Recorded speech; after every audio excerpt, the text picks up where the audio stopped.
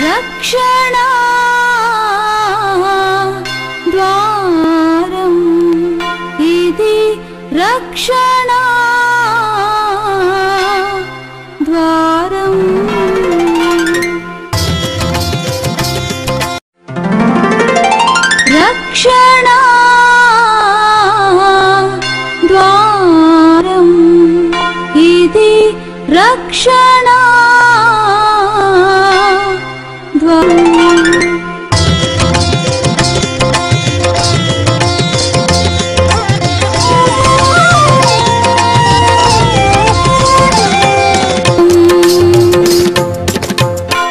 నామానికి మహిమ ఘనత ప్రభావములు కలుగునుగాక. హలేలుయ ఈ రోజున మనము ధ్యానించబోతున్నటువంటి అంశ భాగము నిజమైన పశ్చాత్తాపం చెందిన వారికి వచ్చే ఆశీర్వదములు ఏమిటి? దేవుడికి స్తోత్రం. హలాలుయ యోహాన్ సువార్త ఆరు అధ్యాయము ముప్పై ఎనిమిదవ వచనం మనము ధ్యానించినట్లయితే ముప్పై ఏడు ముప్పై ఎనిమిది వచనాలు మనం ధ్యానించినట్లయితే నా యొద్దకు వచ్చి వారిని నేను ఎంత మాత్రము బయటికి త్రోసివేయను? దేవుడికి స్తోత్రం. హాలాలుయ లైఫ్ ప్రోగ్రామ్ చూసినటువంటి అందరితో దేవుడు మాట్లాడుతున్నారు.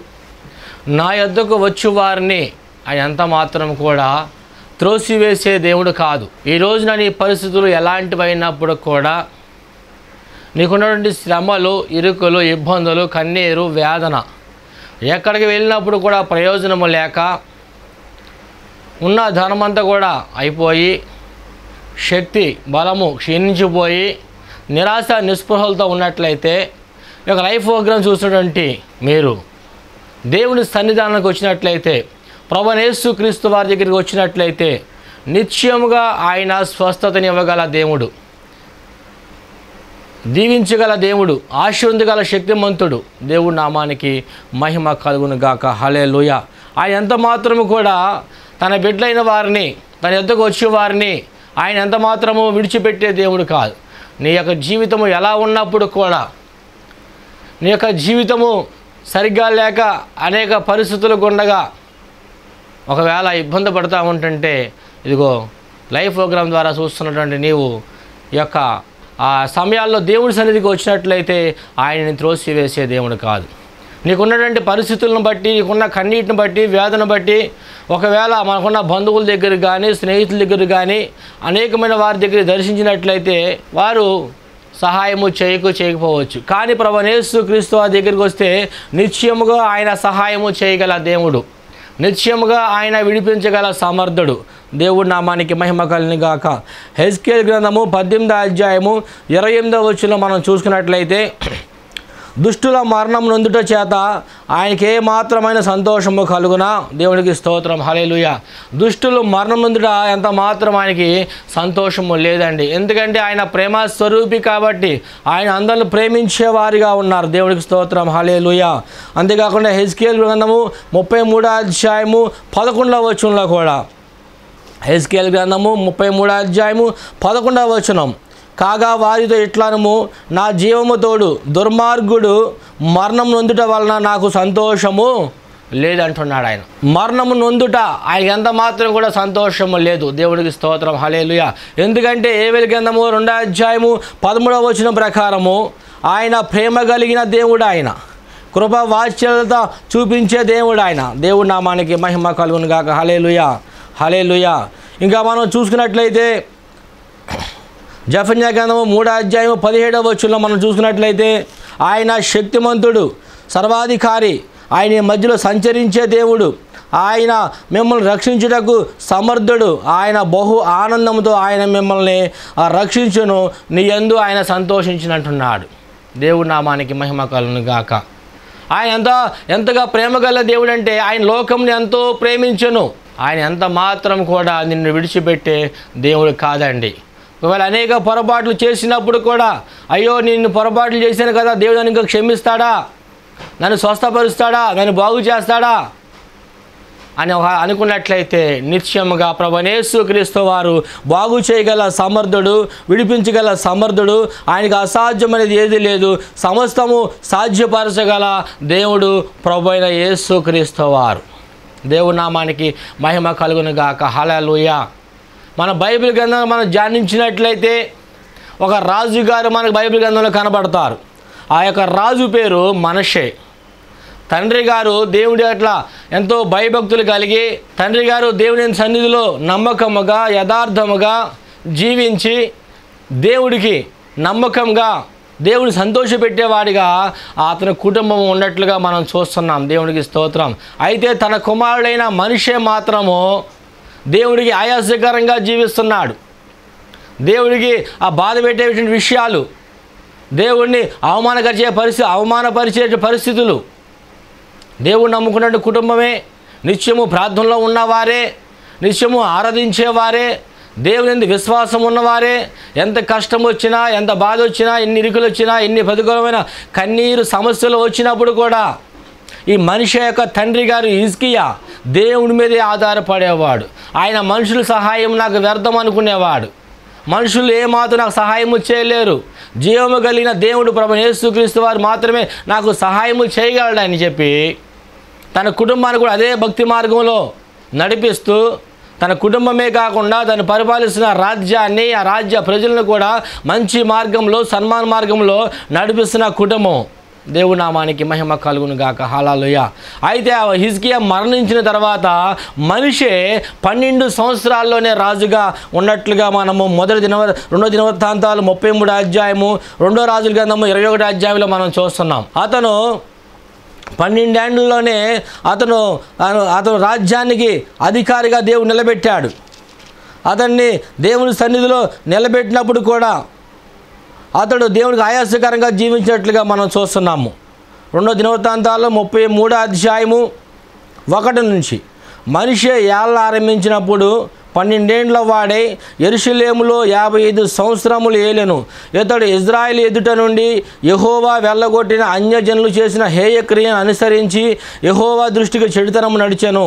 ఇతడు తన తండ్రి అయిన హిజ్కియా పడగొట్టిన ఉన్నత స్థలములను తిరిగి కట్టించి బయలు దేవతలను బలిపీఠములను నిలిపి దేవతా స్తంభములు చేయించి ఆకాశ నక్షత్రం అన్నిటినీ పూజించి కొలిచెను. మరియు నా నామమున ఎన్నడెన్నడికి ఉండని ఎరుసలేమునందు ఏ స్థలంలో కూర్చైనను యహోవా సెలవిచ్చును. అక్కడున్న యహోవా మందిరమందు అతడు బలిపీఠము కట్టించను. లూయ ఇతను చేసిన పని ఏంటంటే జాతకాలు చూపించేవాడు. అంతేకాకుండా ఆకాశంలో నక్షత్రాలను కొలిచేవాడు. దేవుని ఆజ్ఞను భంగపరిచినట్లుగా మనం చూస్తున్నామండి. దేవుడి స్తోత్రం. హాలేలుయ దేవుడు చెప్పిన ఆజ్ఞ ఏంటంటే లేవి కాండము పంతొమ్మిదో అధ్యాయము ఇరవై ఆరో వచ్చిన మనం చూసుకున్నట్లయితే లేవి కాండము పంతొమ్మిదో అధ్యాయము ఇరవై ఆరో వచ్చినం రక్తము కూడినది ఏది తినకూడదు శకునములు చూడకూడదు మంత్రయోగములు చేయకూడదు నీ నీ నుదుటి వెంట్రుకలను గుండ్రంగా కత్తిరింపకూడదు నీ గడ్డపు పక్కలను గొరగకూడదు చచ్చిన వారి కొరకు మీ దేహంలో చీరుకొనకూడదు పచ్చబొట్లు మీ దేహమును పొడుచుకొనకూడదు. నేను మీ దేవుడైన యహోవాను మీ దేశము వ్యభిచరింపకయు దుష్కర ప్రవర్తనతో నిండుకయ ఉన్నట్లుగా మీ కుమార్తె వ్యభిచారిణీయగునుటకై ఆమెను వేసుగా చేయకూడదు. ఇలాంటి అపవిత్రమైన పనులన్నీ కూడా పనులన్నీ కూడా మనిషే ఏమంటే చేసినట్లుగా మనకి రెండు దినవృత్తాంతాలు ముప్పై మూడు అధ్యాయము రెండో రాజు గ్రంథము ఇరవై ఒకటి అధ్యాయంలో మనకి ఇవన్నీ కూడా కనబడతా ఉంటాయి. అలాగే ఈ రోజుల్లో దేవుడు నమ్ముకున్న బిడ్డలు చాలామంది మనం చూసుకున్నట్లయితే దేవుడికి నమ్మకంగా జీవిస్తున్న బిడ్డలు ఒకనొక సమయంలో మనం చూసుకున్నట్లయితే వారు దేవుడి యొక్క ఆజ్ఞలు మర్చిపోతున్నారు. దేవుడి యొక్క ఆజ్ఞలు విడిచిపెడుతున్నారు. దేవుడికి నమ్మకంగా జీవించకుండా దేవుడిని యథార్థంగా జీవించకుండా పౌలు గారు అంటారు మీరు దేవుని యొక్క బలలోనూ పాల్పొంపులు పొందుతున్నారు. ఇంకా అనేకమైన వాటిల్లో కూడా లోకానుసారంగమైన వాటిల్లో కూడా మీరు పాల్పొంపులతో పొందుతున్నారు అంటాడు. అలాగే చాలామంది కూడా క్రైస్తవ్యము నడుస్తున్నారు కానీ ప్రార్థన చేస్తున్నారు కానీ ఈ యొక్క ఆచార క్రమాలు వారు మానట్లేదు. ఆచారాలను విడిచిపెడతలేదు ఆరాచ ఆచారాలు వదిలిపెడతలేదు. మూఢనమ్మకాలు అపనమ్మకము సందేహము. దేవుడి నామానికి మహిమ కలుగును గాక. హలలుయ ఇవన్నీ కూడా చేస్తూ ఉన్నటువంటి పరిస్థితులు మనం చూస్తున్నాం. ఒక క్రైస్తవుడు గృహం కట్టేటప్పుడు మనం చూసుకున్నట్లయితే ఆచారాలు అపన ఆచారాలు సిద్ధాంతాలను బట్టి ఏమండి? ఆ యొక్క గోతిలో ఏమేస్తున్నారంటే మనం నూనెసి ప్రార్థన చేస్తారు క్రైస్తవులు చాలామంది. కొంతమంది అయితే నవధాన్యాలు పసుపులు గుమ్మాలు ఎత్తేటప్పుడు పసుపులు లేదా చనిపోయినప్పుడు ఆ యొక్క సమాధి మీద పువ్వులు పెట్టడము అగరుతులు పెట్టడము ఇంకా లేక కొవ్వొత్తులు అంటించడము ఇలాంటి దేవుడికి ఆయాసకరమైనటువంటి విగ్రహార్థమైనటువంటి పరిస్థితులు మనం చూస్తూ ఉన్నాము. పూలదండలు వేయటము ఫోటో ఫోటోలకి పూలదండలు పెట్టించడం జ్ఞాపకార్థ గుడికి రోజున ఒక ఫోటో పెట్టి ఆ ఫోటోకి దండ వేయటము. ఆకాశ నక్షత్రము ఏది మంచి రోజో ఏది చెడ్డ రోజు చూడటము మంగళవారాలు శుక్రవారాలు పట్టింపు రకరకాల పరిస్థితులు గుండగా వారు వెళ్తున్నారు. దేవుడి నామానికి మహిమ కలును గాక. రెండు దినవతాంతాల్లో కూడా మనిషి కూడా అదే ప- అదే పని చేశాడు. తన కుటుంబం ఎంతగానో దీవించబడిన కుటుంబం తన కుటుంబం ఎంతగానో ఆశీర్వదింపబడిన కుటుంబం తన కుటుంబం ఒక ఉన్నతమైన స్థాయిలో దేవుడు నిలబెట్టిన నిలబెట్టాడు. అనేక మంది ప్రజలకు అనేక మందికి ఆశీర్వకరంగా దీవునికరంగా దేవుడు ఆ యొక్క హిజ్కియా కుటుంబాన్ని నిలబెట్టినప్పుడు తన హిజ్కియా మరణించిన తర్వాత మనిషి యొక్క పరిపాలనలో అతను చేస్తున్న పని చాలా భయంకరమైన పరిస్థితులు. దేవుడి యొక్క ఆజ్ఞను తిరస్కరించడము దేవుడి యొక్క మాట భంగపరచడము. ఒక ఇంకా మనం చూసినట్లయితే ముప్పై ఒకటో అధ్యాయం పంతొ లేవికాండం పంతొమ్మిదో అధ్యాయము ముప్పై ఒకటో వచనం. లేవికాండము పంతొమ్మిదో అధ్యాయం ముప్పై ఒకటో వచనంలో కర్ణ పిచాచి గల దగ్గరకు పోకూడదు. సోదిగాండ్రును వెదికి వారి వలన అపవిత్ర కలుగు చేసుకునకూడదు. కర్ణపిచాచి గల వారి దగ్గరికి వెళ్తాం. సోది చెప్పుకుంటాం. మంత్రాలు వేయటం జాతకాలు చెప్పించుకుంటాం. ఇలాంటివన్నీ కూడా చాలా ఆయాసకరమైనటువంటి పరిస్థితులు మనం చూస్తున్నాం. దేవుడి నామానికి మహిమ కలను గాక. నేను చాలా చోట్ల ఈ మాటలు ఎలా చెప్పగలుగుతున్నానంటే చాలా ప్రాంతాలకు వెళ్తున్నప్పుడు నేను చాలామందిని ఇలాగ కర్ణపిశాచుల్ని పూజించడము సోది చెప్పించుకుంటాము జాతకాలు చేయించుకుంటాము చేతి రేఖలను చూపించడము ఇలాంటివన్నీ కూడా భయంకరమైన పరిస్థితులు. ఎప్పుడైతే మనిషి దేవుడి దగ్గర వచ్చినప్పుడు అతను విడుదల పొందుకున్న తర్వాత మరలా వెనక్కి తిరిగి చూసినట్లయితే మొదటి దెయ్యము విడిపించబడిన తర్వాత వెనక తిరిగి చూసినట్లయితే మరలా భయంకరమైన దెయ్యాలు ఏడు దెయ్యాలను తీసుకువస్తుందని చెప్పి మనకి మదేశ వార్తలో లోకస్ వార్తలో మనకు కనబడతాయి. దేవుడి నామానికి మహిమ కలిని గాక. వాడి స్థితి మొదటి స్థితి కంటే చాలా తర్వాత స్థితి చాలా భయంకరంగా ఉంటుందని చెప్పి మనకి మధ్యస్థ వార్తలో మనకు కనబడుతుంది. దేవుడి నామానికి మహిమ కలుగును గాక. హలే వారి మార్గములు ఏ దేవుని వశములో ఉన్నాయో వారు చాలామంది మర్చిపోయేవారిగా ఉన్నారు. నెబుకద్రేజును మనం చూసినట్లయితే తన యొక్క మార్గములు ఏ దేవుని వశంలో ఉన్నాయో తను మర్చిపోయాడు. బెల్సాజర్ను మనం చూసుకున్నట్లయితే వీరందరూ కూడా పెద్ద పెద్ద రాజులు రాజ్యాలని వేరే ఏలినటువంటి ప్రజలు వాళ్ళు. ఆ రాజులే వారి యొక్క మార్గములు వారి యొక్క మార్గములు ఏ దేవుని వశములో ఉన్నాయో వారు మర్చిపోయారంట. నేనే గొప్ప నేనే నేనే నాకన్నా గొప్పోడు లేడు. ఎంత నేను సంపాదించిందే కదా నేను చేసిందే కదా అని చెప్పి ఆ నెబుకదేశరు బెల్సాజర్ కూడా ఎంతగానో గర్వాంధులైనట్లుగా మనము లేఖనాల్లో మనం చూస్తున్నామండి. హాలేలుయ ఈ మనిషి కూడా చేసిన పొరపాట్లు ఏంటంటే దేవుడికి ఆయాసకరంగా ఏదైతే చేయకూడదో ఇంకా ఆరో వచనంలో చూసినట్లయితే ముప్పై ముప్పై మూడో అధ్యాయం రెండు దినవృత్తాంతాలు ముప్పై మూడో అధ్యాయము ఆరో వచనం. అగ్నిగుండంలో దాటించడము ముహూర్తములను విచారించుచు మంత్రములను చిల్లంగితనమును వాడుక చొప్పున కర్ణ పిచాచులతోనూ సోదిగాండ్రతోనూ సాంగత్యము చేయుచు యహోవా దృష్టికి బహుగా చెడుతనం నడుచుచు ఆయనకు కోపం పుట్టించారంటండి. దేవుడు నామానికి మహిమ కలును గాక. హలలుయా ఆయన కోపం ఎలా పుట్టించారండి? సోది చేపించుకోవడం ద్వారా అంట కర్ణ పిచాచాల దగ్గరికి వెళ్ళటము ఇలా గడ్డములన్నీ గొరిగించుకోవటము లేవికాండం పంతొమ్మిది అధ్యాయం ఇరవై ఆరో వచ్చిన చెప్పిన ప్రకారము అవన్నీ కూడా దేవుడికి చెప్పిన ఆజ్ఞలు మేరటము జుట్టుని గుండ్రంగా కత్తిరించుకోవడము రకరకాల డ్రెస్సులు రకరకాల వాటితో ఈ యొక్క లోకంలో ఉన్నటువంటి అన్య జనాంగంలాగా చాలామంది మారిపోతున్నట్లుగా మనం చూస్తున్నామండి. దేవునామానికి మహిమ కలును గాక హలే లుయా హలే లుయా ఇక మనం చూసుకున్నట్లయితే అలా మొదట ఒక ఆత్మ దురాత్మ ఒక మనిషిని విడిచిపెట్టి వెళ్ళిపోయిన తర్వాత అనగా నువ్వు మొట్టమొదటిగా లోకంలో ఉంటున్నప్పుడు అన్యజనంగా ఉన్నప్పుడు మందిరానికి వచ్చావు. దేవుడు మంచిగా ఆశీర్వదించాడు దీవించాడు. ఉన్నతమైన సారి నిలబెట్టిన తర్వాత నువ్వు మరలా వెనక్కి వెళ్ళిపోయినప్పుడు ఒక దురాత్మ చేత విడిపించబడినప్పుడు నువ్వు మరలా లోకంలో మాట్లాడుతుండగా లోకానుసారంగా ఆలోచిస్తుండగా లోకానుసారంగా చూపులు చూస్తున్నప్పుడుగా మరలా భయంకర నుండి దయ్యములు ఏడు దయ్యములు మనిషి ఆవరించినట్లుగా మనం లేఖనాల్లో చూస్తున్నాం. దేవుడి నామానికి మహిమ కలను గాక. హలెలుయ హలెలుయ వారు అనేకటువంటి దురాత్మ శక్తుల చేత వారు పీడింపబడుతూ ఉన్నారు.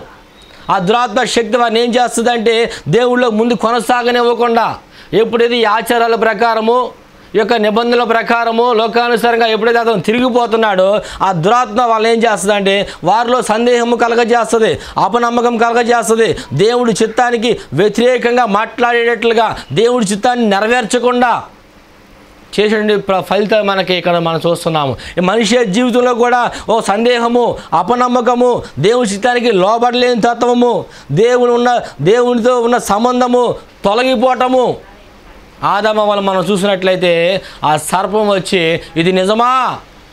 దే ఆ పండు తింటే మీరు దేవతల వల్లే మారిపోతారు. మీ కళ్ళు తెరవబడతాయి. అని చెప్పి తనతో మాట్లాడినట్లుగా దేవుడికి వారికి ఉన్న సంబంధాన్ని తీసివేసినట్లుగా మనం చూస్తున్నాము. దేవుడి వాక్యానికి విరోధంగా వారు మాట్లాడినట్టుగా దేవుడి వాక్యానికి విరోధంగా నడుచుకున్నట్లుగా మనం చూస్తున్నాం అక్కడ.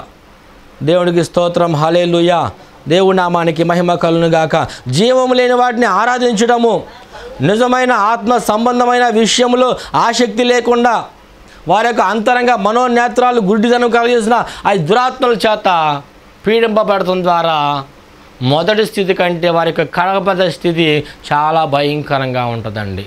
దేవుడి నామానికి మహిమ కలునుగాక. ఈ యొక్క మనిషి జీవితం కూడా అలాగే తయారయ్యింది మొదటగా తను చేసినటువంటి ఆ భక్తి జీవితము లేదు.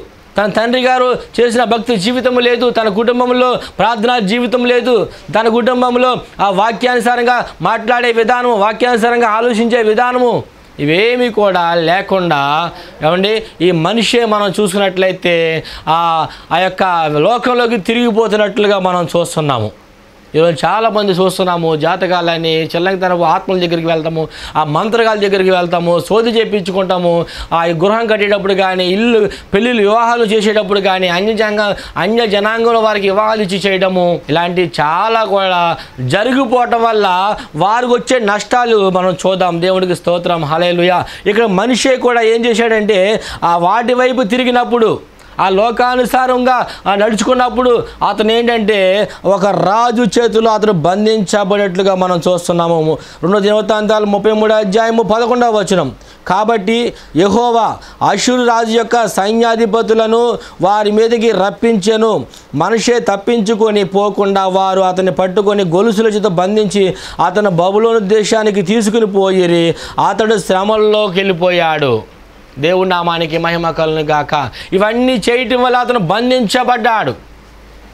గొలుసుల చేత విడిపించుకోలేక సంఖ్యల చేత బంధించబడి ఇక బయటికి వాటిలోంచి రాలేక అతను బంధించబడి ఇంకా ఒకటే అతను బాధ భయంకరమైన శ్రమ ఏమి చేయలేదో తెలియని స్థితి.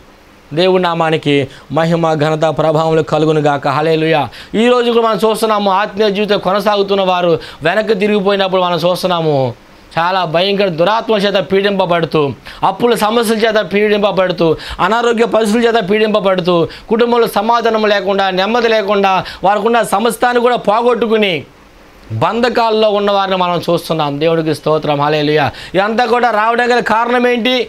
ఇలా జరగడం గల కారణం ఏంటి మనం చూసినట్లయితే మనం చూసినట్లయితే వారు దేవుణ్ణి విడిచిపెట్టేసేసి దేవుడి ఆత్మను దుఃఖపరిచి దేవుని నమ్మకం ఉంచవలసిన వారు దేవుని ఆ విశ్వాసం ఉంచవలసిన వారు ఈ లోకానుసారంగా లోకాల వైపు ఆ వారు ఆచరించడం వల్ల బంధకాల్లో బంధించబడుతున్నారు.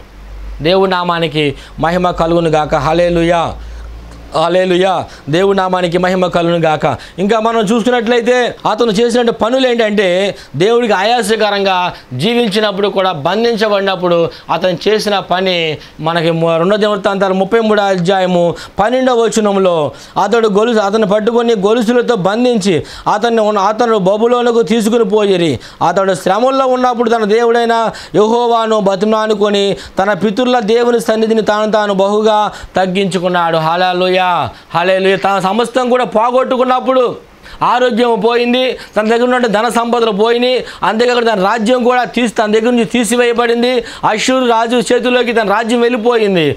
అప్పుడు దేవుని యందు మరలా బుద్ధి వచ్చినట్లుగా దేవుని అందు బుద్ధి వచ్చినట్లుగా అతను మరలా దేవుడి వైపు తిరిగి అతను దేవుని సన్నిధిలో మొరబెడుతున్నాడు. హలాలుయ హలాలుయ దేవుడి నామానికి మహిమ కలుగును గాక. పన్నెండవ వచ్చిన అతడు శ్రమల్లో ఉన్నప్పుడు తన దేవుడైన యహోవాను బతిమానుకొని తన పితుల దేవుని సన్నిధిని తాను తాను బహుగా తగ్గించుకొని ఆయనకు మొరలిడగా ఆయన అతని విన్నపములను ఆలకించి ఎరుషులేమునకు అతని రాజ్యంలోనికి అతను తిరిగి తీసుకుని వచ్చినప్పుడు యహోవా దేవుడై ఉన్నాడని మనిషే తెలుసుకునేను. ఇతను ఎప్పుడు తెలుసుకున్నాడంటే ఆ శ్రమలోంచి బయటికి వచ్చినప్పుడు నిజమైన దేవుడు యేసుప్రవారు ఉన్నారని చెప్పి అప్పుడు తెలుసుకున్నాడంటండి దేవుడికి స్తోత్రం. హలాలుయ దేవుడి నామానికి మహిమ కలుగును గాక కలుగునుగాక కలుగును గాక. ఇంకా మనం చూసినట్లయితే అతను చేసిన దేవుని సన్నిధిలో మొరబెట్టాడంటే అతని బంధకాల్లో. అతని బంధకాల్లో ఉన్నప్పుడు మొరబెట్టినప్పుడు దేవుడు అతన్ని విడిపించాడు. ఆయన వద్దకు వచ్చేవాడిని ఎంత మాత్రము త్రోసివేయడు అన్న మాట ప్రకారము ఆయన కరుణ వాత్సల్య గలవాడు. ఆయన అన్నడు కూడా కోపించే దేవుడు కాదు ఆయన. ఆయన దగ్గరకు వచ్చిన వారిని త్రోసివేసే దేవుడు కాదు. ఇంకా మనం చూసినట్లయితే దుష్టుల మరణము ఆయనకి ఎంత మాత్రము ఆయన ఇష్టం లేదు. ఆయన సంతోషించే దేవుడు కాదు. నీతిపరుడు తన నీతిని విడిచి తన నీతి హెస్కేల్ గ్రంథము పద్దెనిమిదో అధ్యాయము ఇరవై ఆరో వచనం. నీతిపరుడు తన నీతిని విడిచి పాపము చేసిన ఎడల అతడు దానిని బట్టి మరణము నందును. దేవుడికి స్తోత్రం. హలేలుయ ఈ నీతిమంతుడు ఎప్పుడైతే నీతిని విడిచిపెట్టి పాపం చేస్తాడు మరణం అవుతాడంట ఒకవేళ అలాంటి మరణకర పరిస్థితుల్లో ఉన్నట్లయితే ఇక మన చేతుల్లో ఏమీ లేకుండా ఇక మనం చేసేది లేక మనకు మన జ్ఞానం కానీ మన శక్తి కానీ మన బంధువులు కానీ మన ఇరుగు పొరుగు కానీ మన స్నేహితులు కానీ మన బంధువర్గం కానీ ఇంకా మనం చేసినంతా కూడా అయిపోయి ఇక ఏమీ చేయలేని స్థితిలో ఉన్నట్లయితే ప్రభు అయిన యేసు క్రీస్తు వారిని నువ్వు ఆ వద్దకు వచ్చి ఆయన సన్నిధిలో ఉండి ఆయన పశ్చాత్తాపడి మారు మనసు పొంది మరలా ఆయన సన్నిధిలో నువ్వు మొరబెట్టినట్లయితే ఇదిగో ఆయన నిజంగా మొరబెట్టిన వారికి సమీపంగా ఉండే దేవుడు ఆయన. ఆపత్కాలం మంది మొరబెట్టగా ఆయన ఉత్తరం ఇచ్చే దేవుడు ఆయన. యశగంధం యాభై తొమ్మిది అధ్యాయంలో మనం చూసుకున్నట్లయితే రక్షింప నేరకున్నట్లు అస్తము కొరుస కాలేదు విన నేరకున్నట్ల చెవులు మందము కాలేదు అంటున్నాడు ఆయన. ఆయన రక్షించే దేవుడు ఆయన కాపాడే దేవుడు ఆయన స్వస్థపరిచే దేవుడు ఆయన నెమ్మదినిచ్చే దేవుడు ఆయన ఆరోగ్యం ఇచ్చే దేవుడు. ఎప్పుడైనా మనం చూసుకున్నట్లయితే ఈ లోకంలో ఉన్న సమస్తాన్ని కూడా విడిచిపెట్టి ఆయన సన్నిధిని పశ్చాత్తాపడి ఆయన సన్నిధి మొరబెట్టినట్ల నిశ్చయముగా ఆయన సమస్తము సమృద్ధిగా చేయగల సమర్థుడు శక్తిమంతుడు ప్రభు యేసుక్రీస్తు వారు. దేవుడికి స్తోత్రం హలేలుయ అయితే మనము దేవుని శైలి పశ్చాత్తాపడటం వల్ల వచ్చే మనకు ఆశీర్వాదాలు ఏంటని మనం చూసుకున్నట్లయితే పశ్చాత్తాపడటం వల్ల మనిషి జీవితంలో వచ్చిన ఆశీర్వాదం ఏంటని మనం చూసినట్లయితే మతేసు వార్త ఐదో అధ్యాయము నాలుగో వచనం. మతేసు వార్త ఐదో అధ్యాయము నాలుగో వచనం మనం చూసినట్లయితే దుఃఖపడేవారు ధన్యులు వారు ఓదార్చబడతారంట. దేవుడికి స్తోత్రం. ఒకవేళ దుఃఖంలో ఉన్నట్లయితే ఆయన సన్నిధిలో దుఃఖముతో ఆయన సన్నిధిలో ప్రార్థన చేసి పశ్చాత్తాపడితే నిన్ను ఆయన ఓదార్చే దేవుడిగా ఉన్నాడు.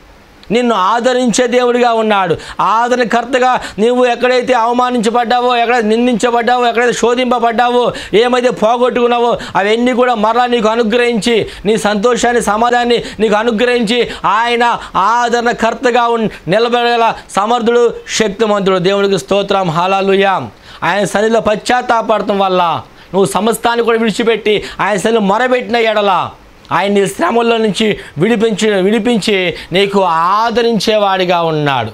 ఎవరు నిన్ను ఆదరించకపోవచ్చు? ప్రభు యేసుక్రీస్తు వారు మాత్రమే నిన్ను ఆదరించే దేవుడు. దేవుడి నామానికి మహిమ గాక.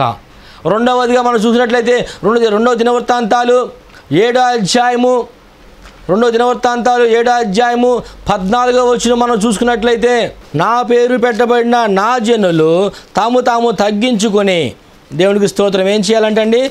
వా తాము తాము తగ్గించుకునే వారిగా ఉండాలి. తగ్గించుకుని దేవుని సన్నిధిలో మొరలిడిన ఎడలా. తగ్గించుకుని ఆయన సన్నిధానికి వచ్చిన ఎడలా. ఆయన ఆస్వాదించి శ్రమలో నుంచి విడిపించగల సమర్థుడు ఆయన. రెండు దినవృత్తాంతాలు ఏడు అధ్యాయం పద్నాలుగులో నా పేరు పెట్టబడిన నా జనులు తాము తాము తగ్గించుకొని ప్రార్థన చేసి నన్ను వెదికి తమ చెడు మార్గంలో విడిచిన ఎడల ఆకాశం నుండి నేను వారి ప్రార్థనను విని వారి పాపమును క్షమించి వారి దేశమును స్వస్థపరుస్తా అంటున్నాడు ఆయన. ఎప్పుడైతే మన చెడు- చెడు మార్గాలు విడిచిపెట్టి పాపమును విడిచి ఆయన సన్నిధిలో మనం ప్రార్థన చేసిన ఎడల ఆయన మన దేశాన్ని స్వస్థపరిచే దేవుడు ఆయన. మన ఆరోగ్యాన్ని స్వస్థ ఆరోగ్యాన్ని ఇచ్చే దేవుడు. నువ్వు ఏ విషయాలైతే కోల్పోయావో అవన్నీ కూడా నీకు ఇవ్వగల సమర్థుడు ఆయన. రెండవదిగా ఆయన నీకు స్వస్థతని ఇవ్వగల దేవుడు నీ దేశానికి కానీ నీ పట్టణానికి నీ నగరానికి నీ గ్రామానికి నీ జిల్లాకి నీ రాష్ట్రాలకి నీ కుటుంబాలకి నీ బంధువులకి నీ స్నేహితులకి ఎవరైతే బలహీన శోధింపబడుతూ పీడింపబడుతూ ఆ యొక్క రుణము సమస్యల చేత అనారోగ్య సమస్యల చేత ఎక్కడికి వెళ్ళినప్పుడు స్వస్థత లేక నెమ్మది లేక సమాధానం లేక దుఃఖములతో ఉన్నట్లయితే రెండవదిగా ఆయన సన్నిధిలో తగ్గించుకుని పాపమును విడిచిపెట్టి ఆయన సన్నిధిలో ఉన్న ఎడల ఆయన క్షమించి రెండవదిగా ఆయన నిన్ను స్వస్థపరిచే దేవుడిగా ఉన్నాడు. దేవుడికి స్తోత్రం. హలలుయా మూడవదిగా మనం చూసినట్లయితే మతస్థ వార్త నాలుగో అధ్యాయము పదిహేనవ వచనం. మతస్థ వార్త నాలుగో అధ్యాయము పదిహేనవ వచనం మనం చూసుకున్నట్లయితే పదిహేను పదహారు వచనం చూసినట్లయితే యేసు పరలోక రాజ్యము సమీపించినది కనుక మారు మనసు పొందిరని చెప్పుచు ప్రకటించాను. పరలోక రాజ్యంలో సమీపించే వారిగా ఉన్నారు. మన పరిపూర్ణంగా మారు మనసు పొంది పరలోక రాజ్యం వైపు చూస్తూ కష్టంలో శ్రమల్లో ప్రతికూల పరిస్థితులు అన్నింటిలో కూడా అనారోగ్య పరిస్థితులు అన్ని విషయాల్లో కూడా నువ్వు పరలోక రాజ్యం వైపు నువ్వు చూసినట్లయితే ఆయన నీకు పరలోక రాజ్యాన్ని అమ్ము అనుగ్రహించేవాడిగా ఉన్నాడు. పరలోక రాజ్యంలో సమీపించడానికి సహాయము చేసేవాడిగా ఉన్నాడు. దేవుడికి స్తోత్రం హలేలుయ మూడవదిగా పరలోక రాజ్యాన్ని నీకు అనుగ్రహించేవాడిగా ఉన్నాడు. మనం బతికిందంతా కూడా పరలోక రాజ్యాన్ని సంపాదించుకోవడానికే. కాబట్టి ఈ క్రైస్తవ జీవితం జీవిస్తున్న మనము దేవుని సన్నిధిలో తగ్గించుకొని మారు మనసు పొంది పాప క్షమాపణ పొంది పశ్చాత్తాపంతో దేవుని సన్నిధిలో ఉన్నట్లయితే ఒకటి ఆయన నిన్ను ఆదరించే దేవుడిగా ఉన్నాడు. రెండవదిగా నీకు క్షేమాన్ని కలగజేసేవాడిగా ఉన్నాడు. స్వస్థతనిచ్చేవాడిగా ఉన్నాడు. ఆరోగ్యం ఇచ్చేవాడిగా ఉన్నాడు. మూడవదిగా పరలోక రాజ్యంలో నీకు స్థానం ఇచ్చి యుగ యుగములు కూడా నిత్య జీవములో ఉండడానికి దేవుడు సహాయం చేసేవాడిగా ఉన్నాడు. మూడవది ఎలాంటి పరిస్థితుల్లో మరణకరమైన పరిస్థితులు వచ్చినప్పుడు కూడా ఆయన బ్రతికించే దేవుడిగా ఉన్నాడు.